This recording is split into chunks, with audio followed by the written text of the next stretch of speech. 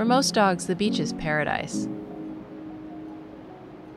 But from the very beginning, my puppy Edie did not behave like a typical golden retriever. Turns out she has extreme anxiety.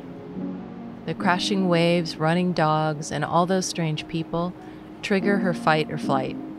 Within minutes, she panics and flees back to the car. Loving Edie is the story of how this tiny, trembling creature tested my marriage and challenged everything I thought I knew about unconditional love. There are many words for the kind of dog Edie is sensitive, reactive, hypervigilant, neurodiverse. Her fear list is long and ever changing. She's terrified of busy sidewalks, flashlights, umbrellas, traffic, even the dog door.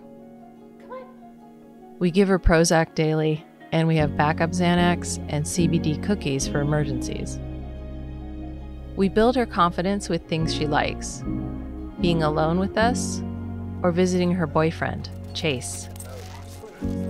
Edie may not be the dog we expected, but she turned out to be the dog we needed. She made us slow our pace to meet hers, and she taught us to see her rather than try to fix her. Loving an unusual dog like Edie trains us to embrace the unexpected with a steady grace. Sure, it means giving up some freedoms, but it also frees us to bring joy to a sensitive soul.